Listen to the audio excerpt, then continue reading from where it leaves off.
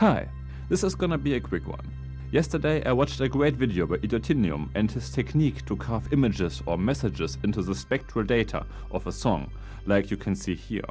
But honestly the method he used was in my opinion way more complicated than necessary. So I thought I will show you a one-click solution using a Python script I wrote tonight.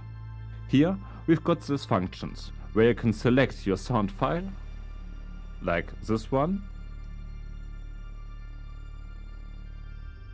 an image, like this one, and this one should be ideally black and white, and then you can select the time where the image shall occur, here it's between 4 and 6 seconds, and here you put the frequency range. I suggest to use 1k to 5k, since there you have the least bleeding into the fundamental frequencies. But you should always check the audio file anyway if the sound is distorted too much. So the first function puts the image on both channels, left and right, and doing so produces many artifacts, as you can hear in this demo.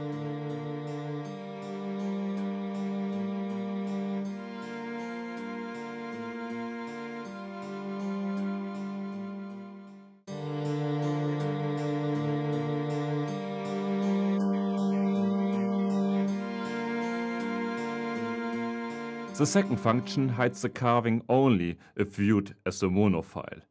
I'll explain it in a bit how this was done. Here, the artifacts are way easier to hide if listened in stereo, but they will still occur in mono.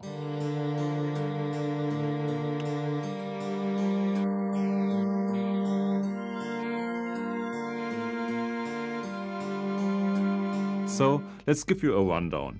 For the stereo carving, we load the sound file and split the channels.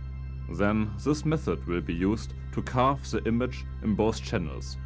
We take the whole track, transform it into the spectral plane, load the image and stretch it so it fits exactly on the time and frequency frame where we want to have it. Now we multiply a negative of this image onto this frame, take a look see that it worked and transform everything back. Now we do the same for the other channel. Stitch everything back together and export our file. And if we look at the exported file, we can see the image on both of those channels. Now for the mono only image. We do almost the same. But this time we create a mask for the left channel where everything is set to zero, except the image. Then we do the same for the right channel and the kicker is now that we subtract this audio files which only contains the left image from the right channel and the right image from the left channel. This means that on the channel itself, those frequencies are not deleted, but only changed by a bit. This is because the left image is where L minus L equals 0, and the right is where R minus R equals 0. But since R and L are not equal, r minus l is not 0 and l minus r is also not 0. But if we sum those two mono again, we get r minus l plus l minus r. And that's exactly the same as r minus r plus l minus l, which is of course again 0. So now everywhere where our image is, the frequencies simply vanish. So, um, this is obviously not the perfect script, but it works kinda well, I guess.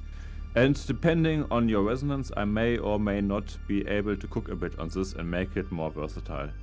Uh, you can find the script on my website as always, and if you want to know how to do this, but only with audio plugins in your DAW, you should of course check out Idiotinium.